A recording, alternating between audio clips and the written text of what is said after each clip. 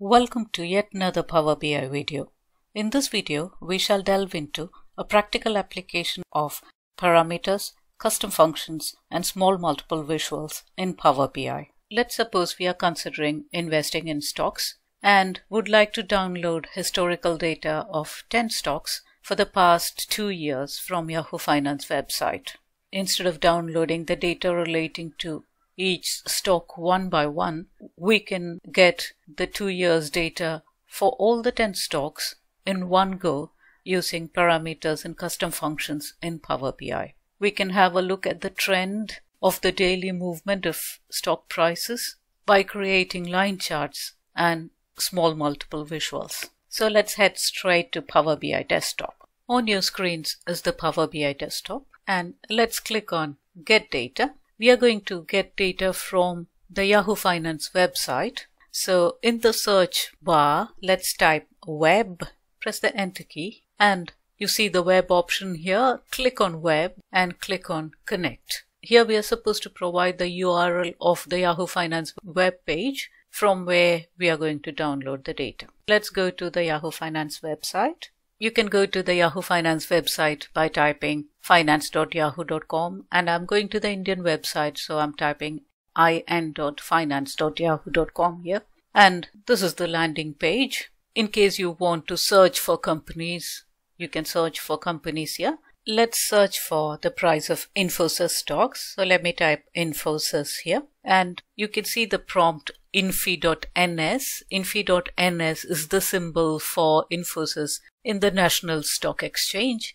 So let's click on this. In the URL, you can see infy.ns, which is the symbol for the Infosys stock. And this symbol is quite crucial. What we are seeing on the screen is the summary of the data. We are interested in historical data, so let's click on historical data. By default, you can see data for one year. If we want the data for a different time period, let's click on the drop down. You can get data for one day, five days, three months, six months, year to date, one year, five years. If I click on maximum, we can get data from 1996 onwards. We are interested in having data for two years. So let's change the date here, give the start date as 3-7-2019 and the end date is 3-7-2021. Let's click on done. We will be getting the daily stock price data. You can see date, opening price, maximum price, minimum price, closing price and adjusted closing price here.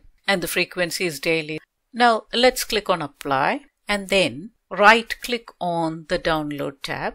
We can copy the link address. Let's go back to Power BI desktop and paste the URL here. We get the data relating to Infosys stocks because the symbol of the Infosys stock which is infy.ns, which identifies the relevant page for downloading data. Now let's click on OK. We can see here a preview of the data and it is a CSV file because the delimiter is comma and Power BI detects what type of data each column contains based on the first 200 rows. Let's click on transform data because we have to do a lot of transformations on this data. You can see date, and the data type has been correctly picked by Power BI as the date. If you click here, you can see this is the icon for the date format. Similarly, if we click here, this is the icon for the decimal number and it's been picked correctly by Power BI. Similarly, all the columns for the prices include decimals. And if we go to the last column for volume, we can see that the data type is 123, which is a whole number and the data type is correct we've downloaded the data for Infosys, but we have to download data for nine more stocks. In this Excel spreadsheet, you can see the names of the stocks that we want to download and their symbols. The symbol is a key factor in the URL which identifies the web page containing the relevant data. Let's rename this table as stock prices. And now we are going to create a parameter. A parameter is nothing but a placeholder and by changing the value of the parameter, you can download the data for different stocks. So let's see how we can create a parameter. In the Home tab, you can see an option Manage Parameters. Let's click on the drop-down menu we can click on new parameters and it is asking for the parameter name. Let's give the parameter name as stock. Maybe you can give a description and the type of parameter that we are going to give is to be indicated here. In our case, we are going to give the parameter as text because the stock symbol like infy.ns is in the form of text. Let's choose text here. Suggested values you can leave it as blank and in the current value let's give the current value of this symbol which is infy.ns because the data that we've downloaded here is that of Infosys. Let's click on OK and you can see that a parameter has been created here and the current value is infy.ns.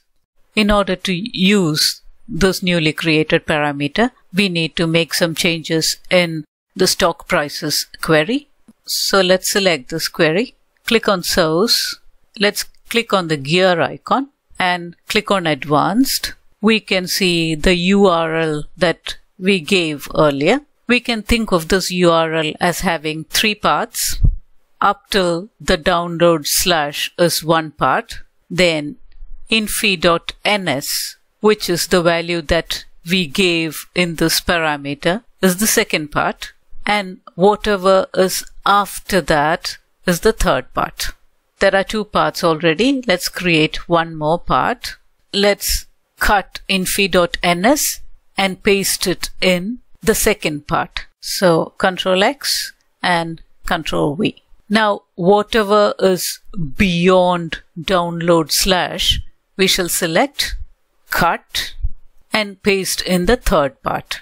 Let's look at the URL preview. We can see that all the three parts have been combined and shown here.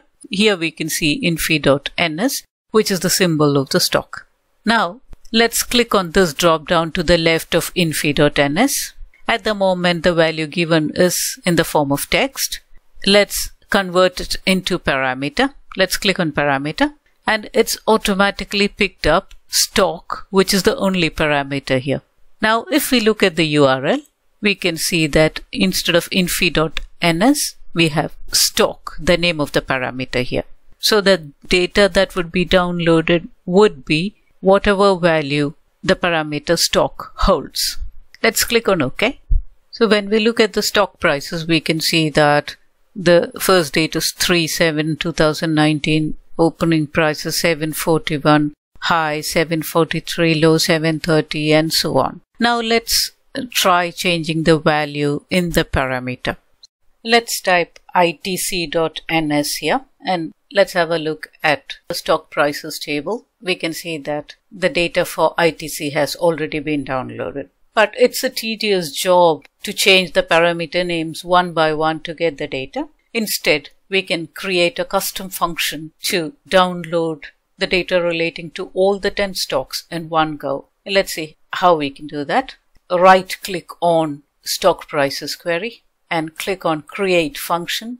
We have to give a name to the function. Let's name it as get stocks and we can see that it is using the parameter stock to get the stock prices. Let's click on OK. A group has been created. Get stocks group contains three objects. One is the stock prices query, stock is the parameter, and the third one is the function get stocks. In order to get data using this custom function, we need to get the symbol data from this Excel spreadsheet.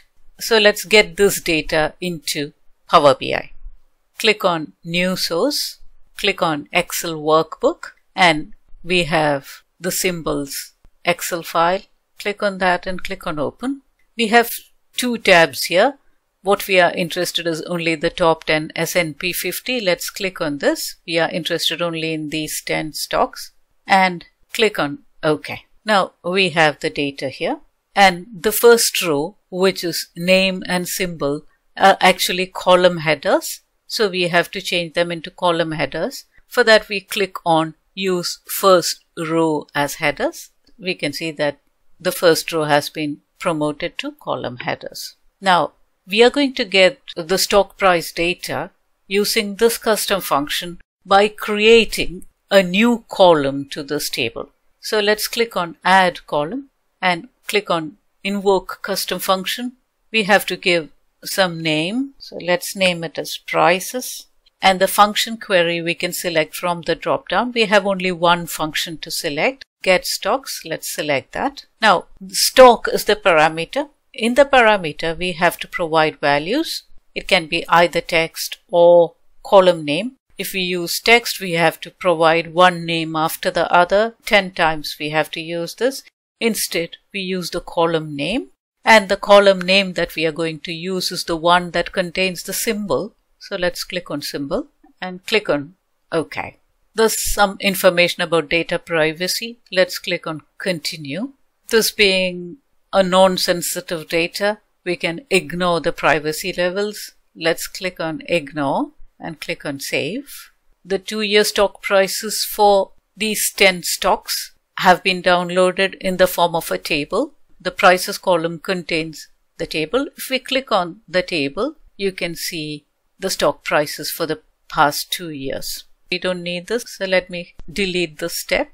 We can get all the prices in the table by expanding this column. Let's click here. Let's uncheck this box, use original column as prefix because we don't want prices to be prefixed before each column name. Let's uncheck this and we are interested in all the columns. So let all the columns remain selected and let's click on OK. We have the date, opening price, closing price, etc. But when we get stocks using a custom function, the data type may not be correct. For instance, this date table contains date data, but the data type chosen here is whole number so let's change it to date. For open, it is decimal. So we choose decimal number. We can change the remaining columns too. And the volume column, the data type has been correctly selected as whole number. This step is very important because otherwise the visuals may not give the correct picture. So we've finished downloading the data. Now we go to home, click on close and apply close and apply. Let's hide this table because we don't require it anymore. We have all the data that we require in this table. So let's right click on this and click on hide. We are going to create a line chart. So let's click on this and resize the visual. Let's expand this and along the axis we are going to plot the date. So let's drag and drop this here. We don't need a date hierarchy. So we can click here and change it to date. And in the values column, we are going to drag and drop the closing prices. In the legend, we can drag and drop the symbol. So we can see the date-wise movement of closing price for all the 10 stocks. Some of the stocks are going up, some are fluctuating wildly, some are steadily increasing, and so on. We don't have a secondary value, so we can leave it blank. You can give a title and we can increase the font size by clicking on the format icon. We can turn the data labels on if we want to see the prices. We come back to the fields tab. This chart looks a bit cluttered.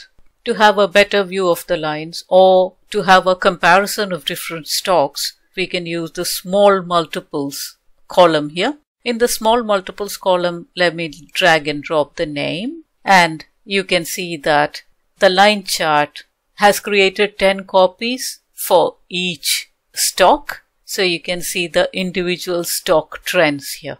If we want to change the font size or the color, we can go to the format tab and you have the small multiples option here. Let's click on this. We can change the text size and the font color. So we can see the movement of the stocks very clearly without any cluttering here in case you want to compare certain types of stocks. You have bank stocks here. If we want to compare the prices of bank stocks, we can create a slicer. This is the slicer visual. Let's click on this. So we have the slicer and under the field, let's drag and drop the name. We have the names of all the stocks. We can click on the format tab and click on items. Let's increase the font size to say 15 let's select only the bank stocks. So I'm pressing the control key and clicking on Axis Bank, HDFC Bank, ICICI Bank, Kotak Mahindra Bank, and you can see how they are doing. So we can do comparisons like this using a slicer and a line chart with small multiples option. So we've seen how easy it is to download stock prices from the Yahoo Finance website using a parameter and custom function in Power BI and the small multiples option in the line chart visual is a great tool in comparing share price movements. Hope you found this video useful. In case you like this video, click on the like button and share it with your friends. Please watch the other videos in our channel if you love them. Please click on the subscribe button. Please don't forget to click on the bell icon because it helps you to get notifications when we post new videos in our channel. Thank you very much. See you again with yet another video. Have a great day.